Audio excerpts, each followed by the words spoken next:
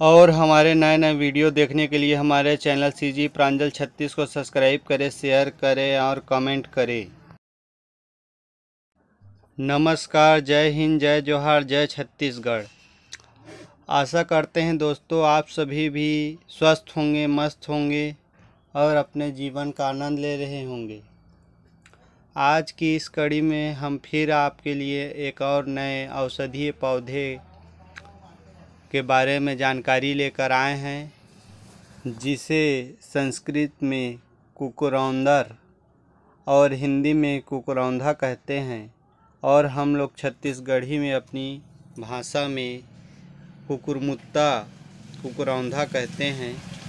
गुजराती में कोलाहार, कोकारुंडा, बंगाली में बुरा कुश्ती नेपाली में भृंगी और कुकुरबंडा कहते हैं। इस प्रकार हर एक भाषा में इसके और अनेक अनेक नाम लिए जाते हैं। और इसके औषधीय गुण धर्म की बात की जाए तो कुकुरौंधा, ज्वर, मुख रोग, रक्त दोष, सूल, प्रदाह और कफनाशी होता है। इसका मूल स्तंभनकारी होता है। कुकरौंधा का स्वरस स्तंभक, मूत्रल, ज्वर और कृमिहीनता होता है। इस प्रकार से कुकरौंधा अनेक प्रकार के रोगों में इसका उपयोग किया जाता है। इसका पत्र का तेल जीवाणु रोधी कवक रोधी और विसूचिका नाशक होता है।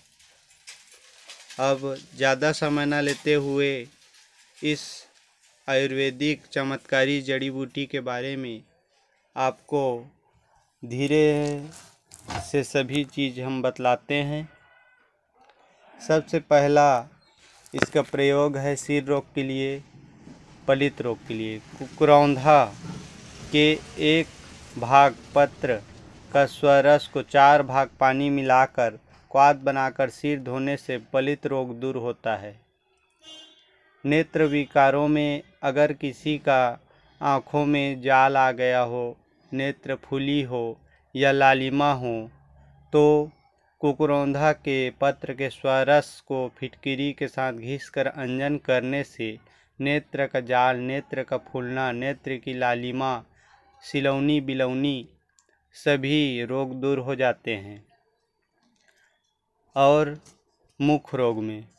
कुकुरौंधा के ताज़े मूल को लेकर मुख में चबाकर थूकने से मुख में होने वाला छाला मुख शोध से दूर हो जाता है। वक्ष रोग में पाँच मिलीलीटर कुकुरौंधा स्वरस को संभाग शहद मिलाकर खिलाने से कफज, विकारों, खांसी में बहुत अत्यधिक फ़ायदा देखने को मिलता है। उसके बाद उदर रोग में बात किया जाए तो कुकरौंधा कृमि रोग में बहुत ही असरकाली औषधि है। पाँच मिलीग्राम कुकरौंधा पत्र के स्वरस को सेवन करने से उदर के कृमि का नाश होता है। विसूचिका, जिसे हम दस्त के नाम से जानते हैं, और अतिसार उदर कृमि और ग्रहणी विकार में एक से दो ग्राम कुकरौंधा के मूल चूर्ण को काली मिर्च चूर्ण मिलाकर सेवन करने से विसूचिका, अतिसार और उदर कृमि में भी लाभ होता है। इसके अलावा कुकरौंधा बवासीर के लिए एक बहुत रामबाण इलाज है। यदि किसी को खूनी बवासीर या बादी बवासीर हो तो कुकरौंधा के पत्र का स्वरस को बालकों को गुदा में लगाने से यदि उन्हें कृमि या चुनना हो तो यह दूर हो जाता है। और बवासीर के लिए कुकरौंधा के पत्ते को पीसकर अर्श के मस्से पर लगाने पर अर्श के खूनी बवासीर के जो मस्से हैं, वो झड़ने लगते हैं। रक्तार्स में खूनी बवासीर में कुकरौंधा के पत्र के स्वरस को काली मिर्च के चूर्ण के साथ मिलाकर सेवन करने से रक्तर्स खूनी बवासीर दूर हो जाता है। मूत्रघात में किडनी की बीमारी में अगर पाँच मिली कुकुरौंधा के स्वरस को सेवन करने से इस मूत्रघात की रोग, मूत्र संबंधित सभी प्रकार के रोग दूर हो जाते हैं। और संधिवाद रोग में अगर किसी के जोड़ जोड़ में अगर दर्द हो कहीं पर भी दर्द हो शरीर में तो कुकुरौंधा के पत्रों को पीस कर अगर लेप कर दिया जाए तो संधिवाद गठिया का दर्द भी दूर हो जाता है।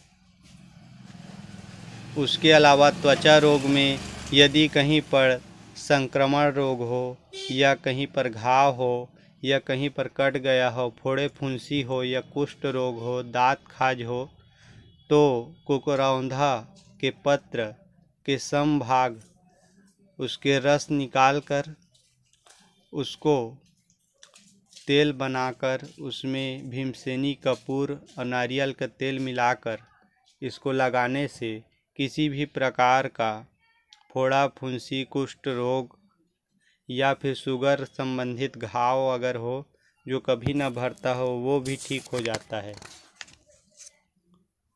और फिर